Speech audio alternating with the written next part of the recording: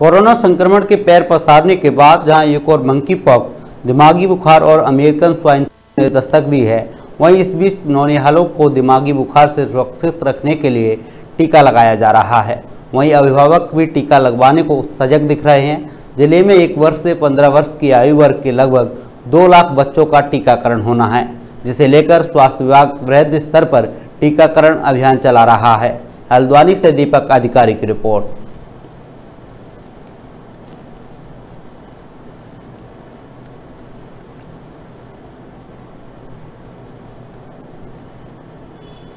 चलेगा और मैं चाहती हूँ सारे बच्चों को वैक्सीन लगे और बीमारियों से बचे।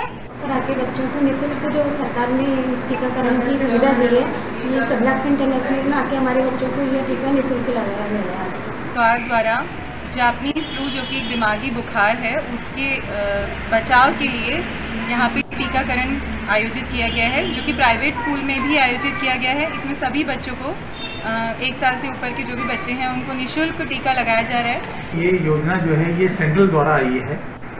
इस योजना में एक साल से बच्चा जो, जिसकी उम्र एक साल हो गई है, वो बच्चा एक साल से पंद्रह साल के बच्चों तक के लिए मुफ़्त टीके स्कूल में लगाए जा रहे हैं। चाहे वो सरकारी स्कूल हो, चाहे वो प्राइवेट स्कूल हो।